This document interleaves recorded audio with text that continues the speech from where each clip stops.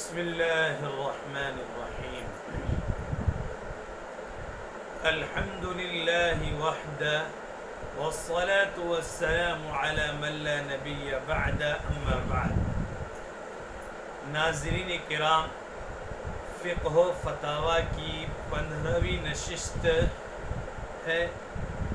आज का मसला ये है कि अगर कोई शख्स बवक्त ज़रूरत अपनी आँख में दवा डाले तो क्या आँख में दवा डालने से रोज़ा फासिद हो जाएगा? जवाबन अर्ज़ ये है कि बवक्त ज़रूरत आँख में दवा डालने से रोज़ा फासिद नहीं होता। जैसे कि फतावा हिंदिया में है, लो अब तौरा दवा फ़ी ही लम यफ्तुर सौमुहु इंदना। अगर दवा कुछ अपनी आँख में डाला तो अहनाफ के नज़दीक उसका रोज़ा फासिद नहीं होगा।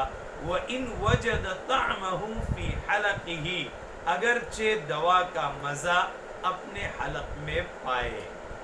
इसलिए आँख में दवा डालने से रोज़ा फासिद नहीं होता। असल में शरीयत का उसूल और कानून ये है कि जिन रगों के ज़रिए और जिन मनाफिज के ज़रिए जो चीज़ हलक, जो चीज़ मैदे तक पहुँचती है, उससे रोज़ा फासिद हो जाता है। और चूँकि आँख के मनाफिज हलक मैदे तक नहीं पहुँचते, इसलिए इससे रोज़ा फासिद नहीं होगा। अल्लाह ताला हम सबको दीन की सही समझ नसीब